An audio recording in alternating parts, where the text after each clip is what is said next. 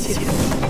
晚上七点三十一分，你好，我是 Denise。你好，我是湘君。啊，这今天的这个新闻线呢，其实我觉得是一个很好的消息，要先带给大家的，因为今天是星期三嘛。对，没错，是。而且刚刚说到好消息，这个油价当然就是跌的啦，哈。真的，而且我觉得啊，再看一下这一个上个星期跟这个星期累积掉的这一个数目呢，大家可以开始去囤油了。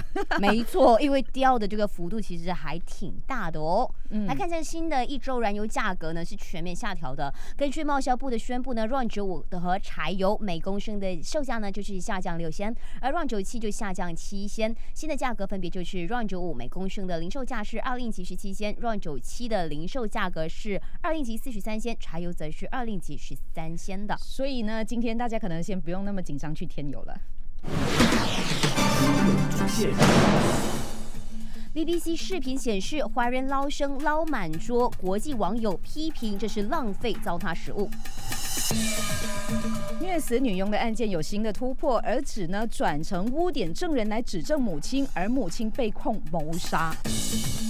这些都是假的，国会并没有解散。SBM 历史科十七万人不及格也是谣言。全球的网速榜四 G 排名，新加坡排名第一，而马来西亚列入了二十个最慢的国家之一。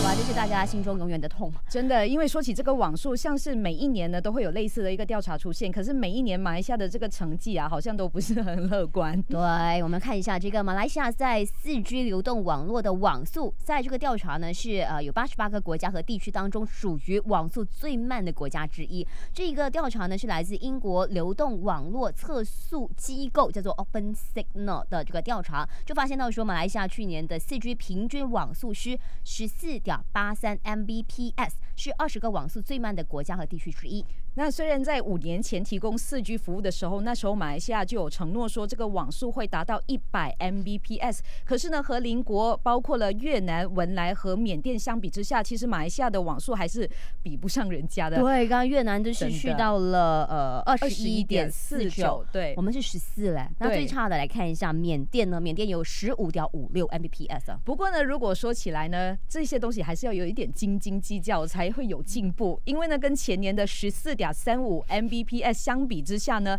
其实马来西亚的这个去年的平均网速呢是有增加一点点。嗯，增加多少呢？就从十四点三五去到现在是十四点八三。那引述呃本台某主播 他就说。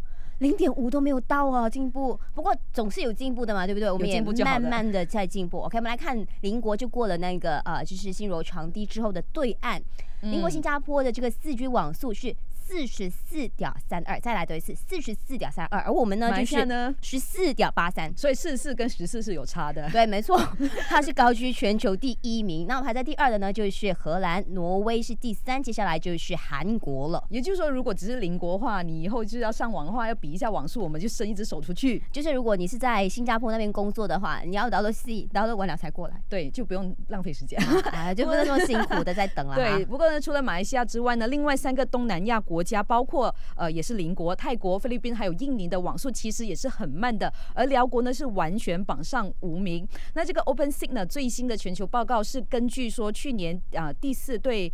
八十八个国家和地区呢，就进行的这个排名。看到这个报告就说，即使呢这个排名很高的国家，这个四 G 的网速也没有很大幅的提升，还没有达到四十五 Mbps。嗯，所以说意思是说，大家都是其实我呃龟速的在前进，也不是我们的进步慢，大家都进步都不大，这样子。嗯，这样子比较好一点。啊，对，感受不错。那另外呢，无论如何，这个报告也说啊，全球拥有四 G 服务的国家和地区现在已经是越来越多了，而且是在稳定的扩散当中，所以大家都是有在进步的啦哈。那虽然呢，马来西亚这个四 G 呢是没有很稳定的扩散，可是呢，这个富豪却是越来越多，这个财富是稳定的扩散中。因为看到说南洋商报就指出，我国去年这个经济呢超出了预期，所以马来西亚这个企业富豪的身价也是大涨。那你看一下啊，一年一度的这个前四十大的富豪，他们的身价在去年呢是增加了，听清楚，六百三十六亿令吉。对，亿啊，不是万，是亿啊，就是这四十大。而刚刚有说嘛，去年的经济超出预期，普罗老百姓，去年我们最多的在谈什么？经济不好，就跟我们没有关系。所以这个经济不是不好，但是可能我们没有 feel 到。来看一下排在第一位的马来西亚首富，依然是郭鹤年，身家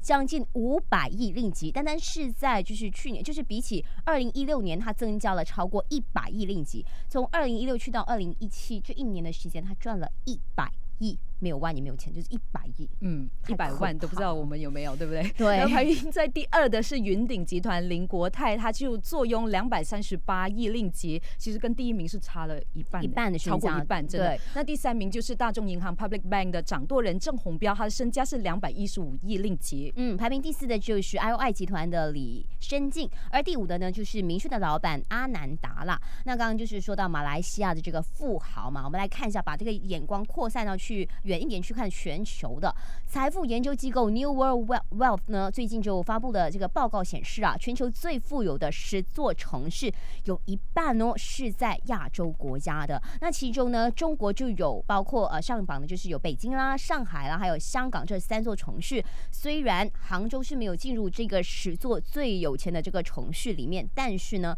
它就是中国财富成长最快的一个主要城市。对，那看到这个 New World Wealth 的这个报告呢，是根据各个城市居住人群所拥有的这个总财富来选出选出全球最富有的十五个城市。那看到这个统计呢，纽约是以三兆美元的私人总财富是排名第一，伦敦呢就从上一次的第一滑落到第二，那东京就是排名第三，为排名最高的这个亚洲的城市。嗯，这里还特别提到说啊，这个阿里巴巴总部所在的杭州，虽然它的私人财富总额只是四千两百五十亿美元，挤不进。这十五大的排名，但是从成长的速度来看呢，杭州是中国财富成长最快的主要城市了哈。嗯，那在整个榜榜榜单里面呢，北美是有五座城市上榜，就包括了纽约、旧金山湾区、洛杉矶、芝加哥，还有多伦多。那亚洲呢，就有刚刚提到的东京、北京、上海、香港，还有新加坡、孟买等等六座城市是上榜的。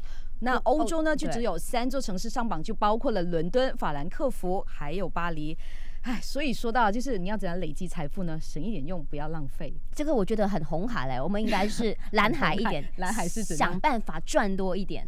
嗯，所以我之前有之前有一些人跟我说，呃，一直存钱没有用的，你要想办法去扩散，怎么去赚钱，把眼光放阔一点。对，这是其实这样子听起来就觉得说，嘿，这些真的经济太好，像也跟我们没有什么关系。可是呢，我觉得还是开心一下，因为明天呢是呃农历初七嘛，对，人日，大家都会趁着人日呢就做什么劳生。对，那今天我们的现在我是有关这个课题。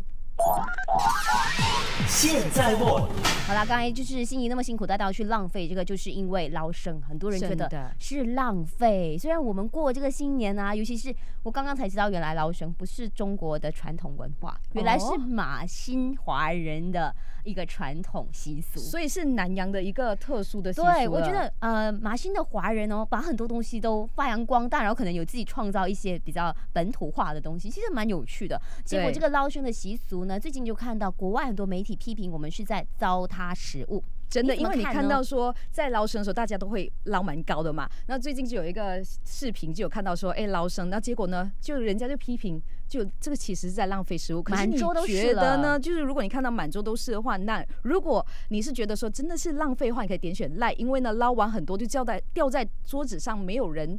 就没有办法吃完它。对，那如果你点选哈哈这个 emoticon，就是说，哎，只是个别人士的夸张捞生行为，不是习俗的错嘛？就个人的品 品格问题。那如果你点选 wow 的话，就说不论是不是浪费呢，这一个习俗还是需要去保留的啦。那我有点难过，是我今年还没有 捞生过一次都没有。我们会约你的，OK？对，自己好像是很人缘不好。对，我们明天给捞一下。好所以呢，呃，就是你的意见是什么呢？可以上到啊九八八的这个。官方的 FB 去投选。